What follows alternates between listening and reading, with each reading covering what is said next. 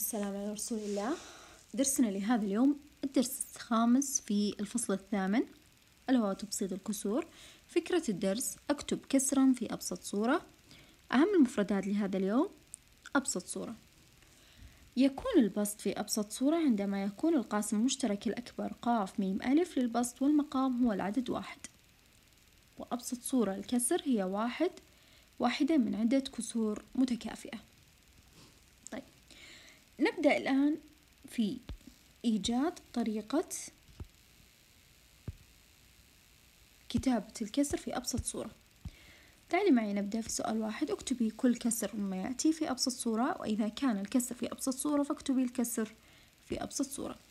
أولا نقوم بإيجاد هنالك طريقتان. نقوم بإيجاد الطريقة الأولى إيجاد القاسم المشترك الأكبر بين العددين عددي البسط والمقام. طيب نبدأ في إيجاد قواسم العدد أربعة أو نكتب قواسم العدد أربعة.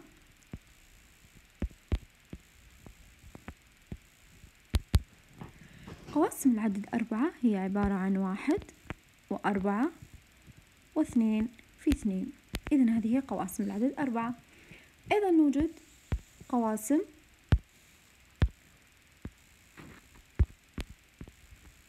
العدد ستة. هي عبارة عن واحد وستة اثنين في ثلاثة. واضح؟ طيب الآن نبحث عن القاسم المشترك الأكبر بين آه، الأربعة الأربعة والستة. لاحظي؟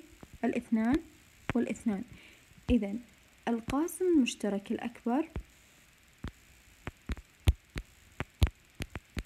هو العدد اثنين. إذا نقوم بقسمة البسط والمقام على العدد اثنين. نقسم البسط على اثنان والمقام على اثنان. أربعة تقسيم اثنان فيها اثنان وستة تقسيم اثنان فيها ثلاثة. إذا العدد اثنان على ثلاثة هو تبسيط أو كسر مكافئ للعدد أربعة على ستة. طيب نبدأ بحل سؤال اثنان.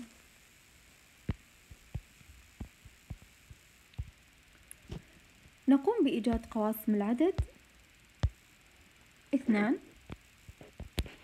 ألا وهي اثنان. أو واحد في اثنان.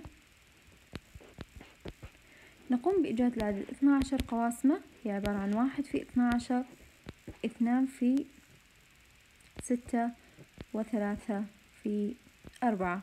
هذه قواسم العدد ستة أو اثنا عشر طيب. ما هو القاسم المشترك؟ القاسم المشترك الأكبر اللي هو الاثنان إذا نقوم بالقسم على الاثنان في البسط والمقام ونرى كم سوف يكون الناتج اثنان تقسيم اثنان واحد واثنى عشر تقسيم اثنان ستة واضح؟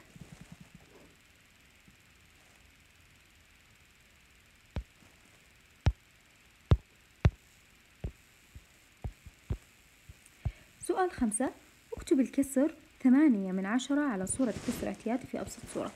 نعلم أن الكسر ثمانية من عشرة هو عبارة عن ثمانية على عشرة. طيب الآن جاء دور كتابته في أبسط صورة. نقوم بإيجاد القواسم للعدد ثمانية. ثمانية هي عبارة عن واحد في ثمانية اثنان في أربعة. واضح؟ والعشرة قواسمها واحد في عشرة. اثنان في خمسة. وننظر القاسم المشترك الأكبر بينهما.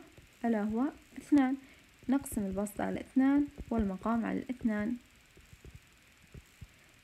ثمانية تقسيم الاثنان أربعة وعشرة تقسيم الاثنان خمسة. إذا هذا الكسر في أبسط صورة. السؤال الذي يليه اشترى إبراهيم أربعة وعشرون كعكة منها عشرة بطعم الشوكولاتة فما الكسر الذي يمثل كعكات الشوكولاتة؟ اكتبي في أبسط في أبسط صورة. طيب.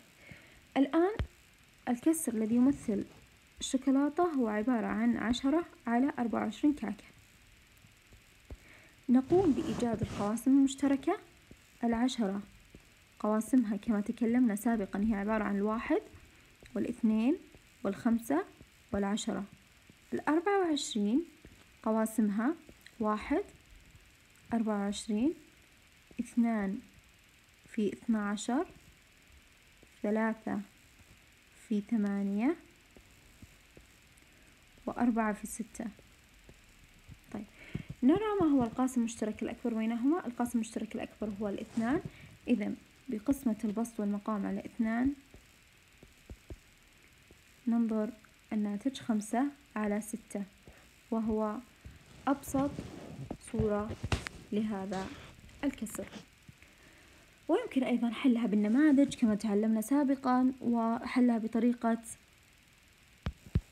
إيجاد أو القسمة المتكررة أو القسمة المتكررة القواسم المشتركة كما فعلنا هنا. دعينا نحل سؤال ستة باستخدام القسمة أو سؤال ثمانية باستخدام القسمة على آه، القواسم المشتركة جميعها. نلاحظ هنا بما أن العددان زوجيان نقوم بالقسمة على نقوم بالقسمة على العدد اثنان. ستة تقسيم اثنان ثلاثة والثمانية تقسيم اثنان أربعة. ننظر هل يوجد غيرها؟ لا يوجد غيرها. إذن هذا هو أبسط صورة أو القواسم المشتركة بين الثلاثة والأربعة هي الواحد فقط. انتهى إلى هنا درسي صغيرتي نلتقي بإذن الله في درس قادم. إلى اللقاء.